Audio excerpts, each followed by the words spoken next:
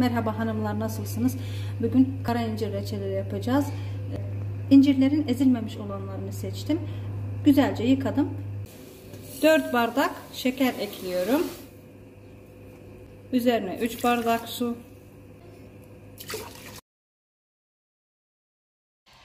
Ocağa aldım. Şekerler eriyene kadar karıştıracağım. Daha sonra incirleri ekleyeceğim. Bu e, bunu şekerleme olmasın diye yapıyoruz. Ayrıca gürültüden dolayı özür dileriz. İncirleri ekliyorum.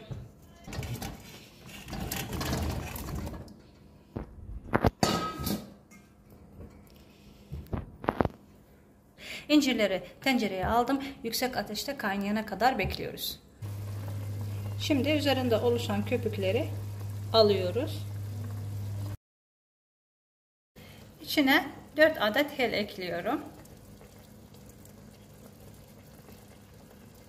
İncir reçeline hel çok yakışıyor.